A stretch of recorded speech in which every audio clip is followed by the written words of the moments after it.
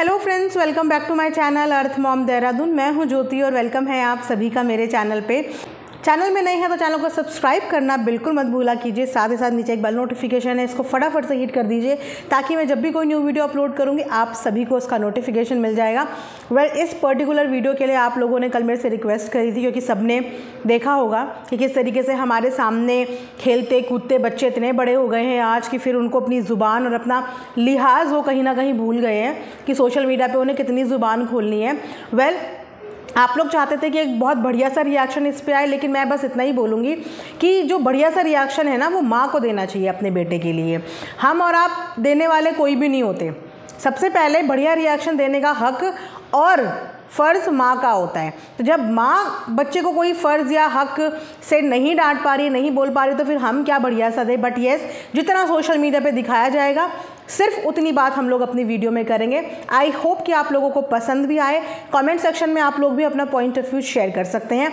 वैसे समझदार को इशारा काफ़ी है मेरी वीडियो शुरू करने से पहले ही बहुत से लोग समझ ही गए होंगे कि रिएक्शन वीडियो मैं किस पे बनाने वाली हूँ। तो दोस्तों, हमारे सामने ना जब कोई चीज़ व्लॉग में दिखती है तो मैं ये बोलूँगी कि ऑडियंस के साथ साथ हम भी कभी कभी इतने बेवकूफ़ बन जाते हैं कि हमें लगता है कि जितना हमें दिख रहा है पंद्रह बीस मिनट के व्लॉग में, वही ज़िंदगी की सच्चाई है। लेकिन कभी कभी ज़िंदगी की सच्चाई बहुत विपरीत होती है और हम लोग भी एक भ्रम में जी रहे होते हैं और जब वो भ्रम का पर्दा हमारे सामने से हटता है तो फिर दिल भी टूटता है और बुरा भी लगता है कि यार हम क्या सोच रहे थे और इंसान क्या से क्या निकला। कुछ ऐसा ही हुआ है। सरोज के साथ कि इतना ज़्यादा प्यार, मोहब्बत रिस्पेक्ट सिंपथी उनको मिल रही थी। इतनी ज़्यादा तारीफ़ उनके बच्चों की होती थी। और उसके बाद अब की डेट में झटका लगा है ऑडियंस को, बहुत तगड़े वाला झटका। ऊपर से सब कुछ ख़त्म होने के बाद भी एक तरीके से एंड हो गया ना कि हम तुम्हारे बारे में कुछ नहीं बोलेंगे। आज के बाद से मलिक फैमिली से हमारा कोई लेना देना नहीं है। आज के बाद से इससे हमारा लेना देना नहीं है। लेकिन वो लेना देना ख़त्म ही नहीं हो पा रहा है। ख़त्म ही नहीं हो पा रहा है क्योंकि हमेशा से इनका पैटर्न है। ये पहले फ़्लो फ्लो में आके वीडियो डालते हैं और उसके बाद खुद इस वीडियो को डिलीट भी कर देते हैं। तो कल भी कुछ ऐसा ही हुआ और पिछली बार तो वीडियो देखना मेरे से स्किप हो गया था, लेकिन ये जो कल डाला था ना, एक छोटा सा शॉर्ट के फॉर्म में एक वीडियो वो मैंने देख लिया था। क्योंकि वो वीडियो यहाँ पे डालने के साथ साथ इंस्टाग्राम पे इनके बेटे ने वहाँ पे भी डाला है। तो जिन लोगों ने यूट्यूब पे नहीं देखा है, एक बार जाके आप लोग इंस्टाग्राम पे देख लेना वो वीडियो। तो उस वीडियो में इनका जो बेटा है, जो कि अब बड़ा हो गया है, अब हम क्या बोले, पहले हम उसे बच्चा बच्चा बच्चा बोलते थे, लेकिन अब हम बोलेंगे कि वो बच्चा नहीं है, वो बड़ा हो गया है। वो इतना बड़ा बच्चा हो गया है कि वो अब माँ से क्या होता है, वो ऑडियंस को सिखाने वाला है। ऑडियंस को बताने वाला है कि माँ से माँ होती है, माँ से मामी होती है, माँ से मौसी होती है और सिर्फ़ जो रिश्ते माँ से शुरू होते हैं, वही माँ की कैटेगरी में आते हैं। उसके अलावा बुआ माँ नहीं होती, आंटी माँ नहीं होती, कोई कुछ नहीं होता। मुझे तो लगता है कि हमने तो बचपन से यही सीखा है और आप लोग भी आई एम श्योर अपने बच्चों को यही सिखाते होंगे कि हर बड़े इंसान में माँ का ही रूप होता है। दूसरे की माँ को माँ समझो, दूसरे की बहन को बहन समझो, आधे क्राइम यहीं ख़त्म हो जाएँगे। जिस दिन माओ ने अपने बेटे को ये संस्कार दे दिए ना कि बेटा दूसरे की बहन तुम्हारी बहन जैसी है और दूसरे की माँ तुम्हारी माँ जैसी है, उस दिन अधिकतर क्राइम वहीं ख़त्म हो जाएँगे। आज ये बच्चा माँ की डेफिनेशन नहीं समझ पा रहा है। इनके हिसाब से जो अक्षर माँ से शुरू होते हैं, सिर्फ़ वही माँ के कैटेगरी में आते हैं। उसके अलावा चाची, बुआ जितने भी दादी, जितने भी रिश्ते हैं, वो माँ नहीं हो सकती है। वो माँ नहीं होती हैं। तो यहाँ से दिख रहा है कि उस बच्चे के दिल में कितनी ज़्यादा नफ़रत भरी हुई है।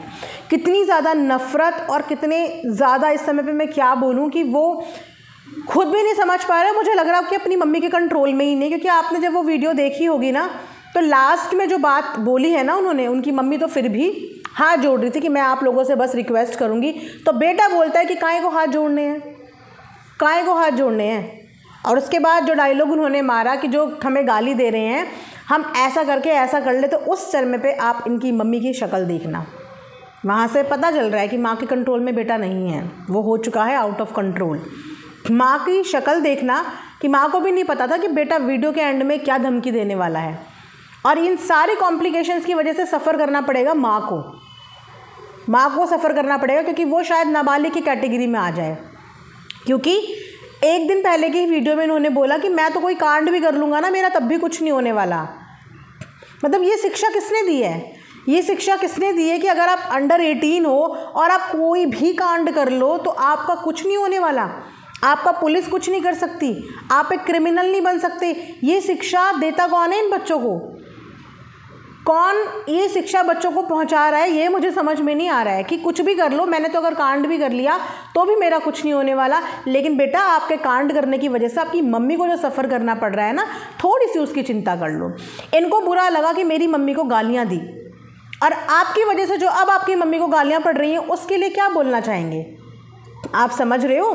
अगर आपको अपनी मम्मी के रिस्पेक्ट की और इज़्ज़त की इतनी परवाह है तो फिर आज आपकी हरकतों की वजह से जो अपनी मम्मी को, उनके संस्कारों को इतनी गाली पड़ रही है, उसका ज़िम्मेदार कौन हुआ? फिर तो आपको भी सज़ा मिलनी चाहिए।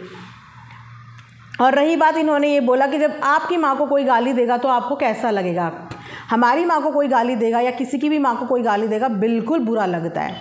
हर बच्चे को बुरा लगता है।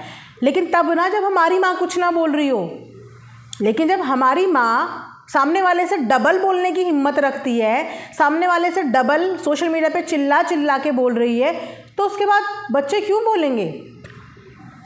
बच्चों का बोलना तब बनता है जब उनकी माँ कुछ ना बोल पा रही हो, सक्षम ना हो।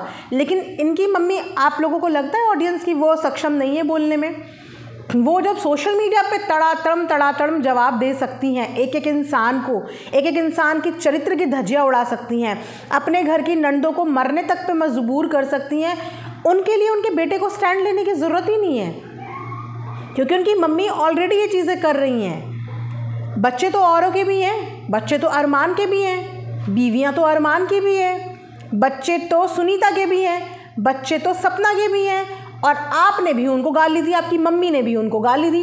क्या उनमें से कोई बच्चा आके ये बोल रहा है कि क्योंकि हमारी माँ को गाली दी तो हम भी गाली देंगे?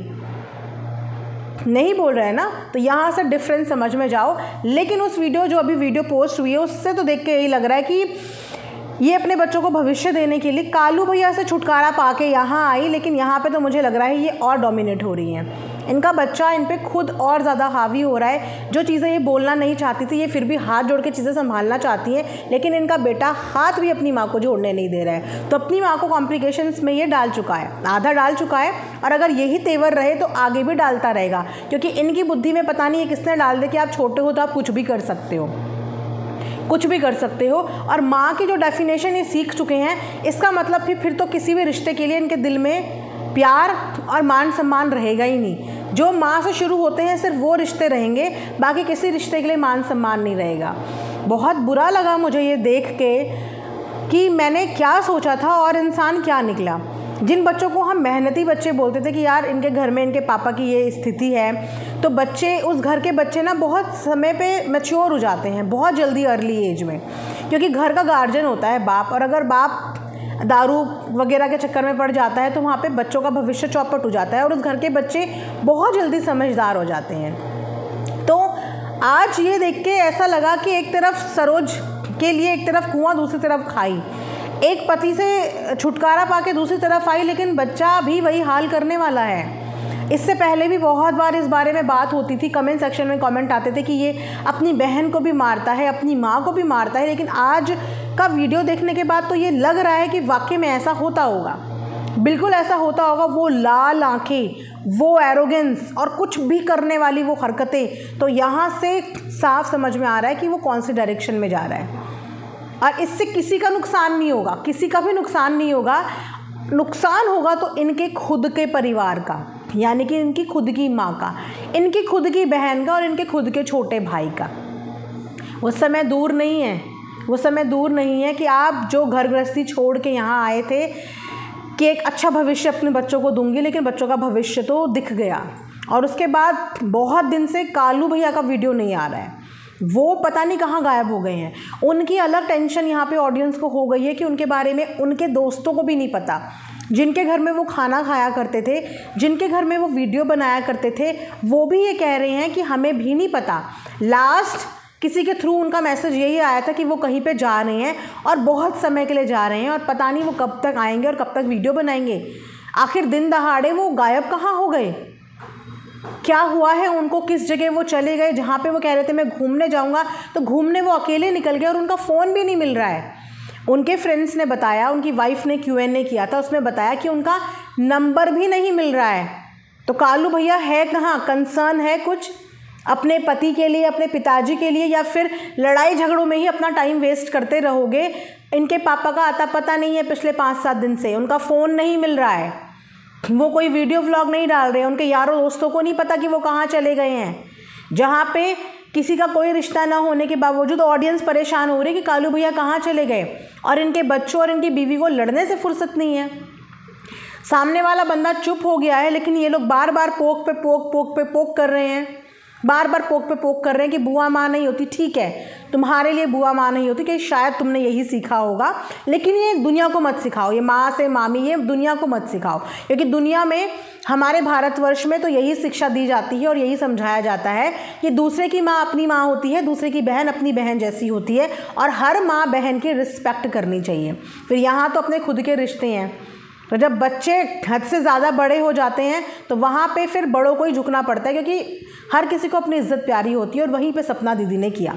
इन्होंने पोक किया, दो बार पोक किया, दो बार पोकिंग वीडियो बनी है। लेकिन सपना ने अपनी वीडियो में यही बोला, इग्नोर। कुछ नहीं बोला उन्होंने, इग्नोर। क्योंकि जो ऑडियंस को देखना था, वो ऑडियंस देख गई। अब चाहे कितनी पॉलिश की जाए, अब चाहे कितना किया जाए, बस सबको पता चल गया है कि किस हद तक क्या परवरिश हो गई है और बच्चे क्या से क्या बन गए हैं और क्या हो गए हैं। अब इनके एटीट्यूड वो सब देख के ऐसा लग रहा है कि जितनी बातें पिछले दिनों हुई है जितनी बातें बोली गई, वो बातें सौ गुना सच है। लेकिन यहाँ पे मुझे सिर्फ़ इस वक्त पे फ़िक्र हो रही है, एक तो कालू भैया की, क्योंकि वाकई में ऐसा लग रहा है अब कि उनके ऊपर बहुत झूठे आरोप लगे हैं। बहुत झूठा बदनाम उन्हें किया गया, बहुत हद से ज़्यादा झूठा बदनाम किया गया।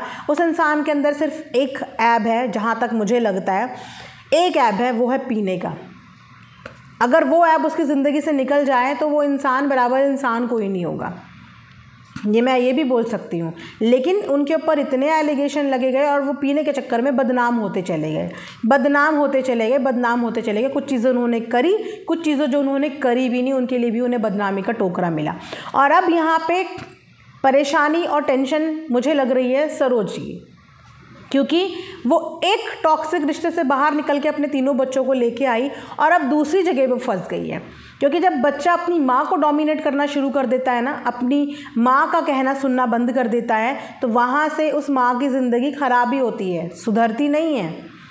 और शायद इसीलिए कई बार अपनी वीडियो में वो बोलती भी थी कि जैसा पापा, जैसा चाचा, जैसा खानदान, वही सब चीज़ें आएँगी। इसका मतलब कहीं ना कहीं उनका जो बिहेव है, उनके बेटे का, वो उसकी माँ को भी परेशान करता है। माँ लास्ट वाले डायलॉग के फेवर में नहीं थी। जैसे ही उसने लास्ट वाली वो बात बोली ना, मैं दिल से ये निकाल दूँगा, मैं कलेजा निकाल दूँगा, कोई देखे तो देखे, गाली को ये तो करे।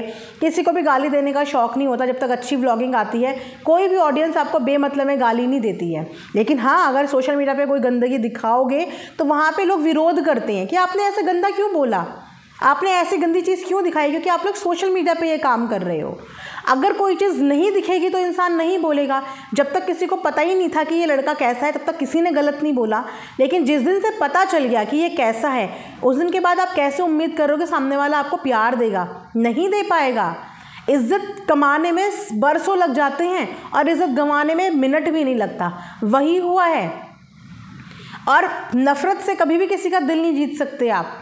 गुस्से से नहीं जीत सकते, प्यार से ही जीतना पड़ेगा। अगर वापस से इज़्ज़त चाहिए तो वो इज़्ज़त देनी पड़ेगी, वो इज़्ज़त दिखानी पड़ेगी। और माँ इस समय पे बहुत मजबूर, लाचार नज़र आ रही है मुझे मुझे बहुत बुरा लग रहा है उनके लिए सच में। लास्ट वाला सीन मुझे अभी भी याद आ रहा है कि जैसे ही उसने बोला, उसकी माँ का चेहरा अपने बेटे की तरफ़ था और वो यूँ करती हुई वहाँ से भागी है। तो माँ के कंट्रोल में औलाद भी नहीं है, पहले तो पति भी नहीं था और अब माँ के कंट्रोल में औलाद भी नहीं है। अब भगवान ही जाने इन लोगों की नैया कैसे पार होगी, ये लोग आगे क्या करेंगे? इससे ज़्यादा मैं क्या ही बोलूँ? आप लोग ऑडियंस हैं, मुझसे ज़्यादा समझदार भी होंगे, मुझसे ज़्यादा उम्र में बड़े लोग भी यहाँ पे देखते होंगे, उन्हें ज़िंदगी के मेरे से ज़्यादा तजुर्बे होंगे, लेकिन जितना मुझे फ़ील हुआ, उतना मैंने अपनी वीडियो के माध्यम से बोला। आप लोग भी कॉमेंट सेक्शन में प्लीज़ इस मैटर पर बोलिए, और अपने एंड पे गालियों से कुछ नहीं होता, प्यार से समझाने की कोशिश कर सकते हैं, क्योंकि अब मुझे टेंशन हो रही है उन बेचारे माँ बाप के लिए, सरोज के लिए और कालू के लिए। औलाद इतनी बड़ी हो जाए ना कि वो डरना छोड़ दे तो वहाँ पे माँ बाप के लिए परेशानियाँ खड़ी होनी शुरू हो जाती हैं। वो पहला पड़ाव होता है परेशानियाँ खड़ी होने का। अब देखते हैं आगे आगे क्या होता है। ये वीडियो मैं यहीं पे एंड करूँगी। Thanks for watching earth mom Dehradun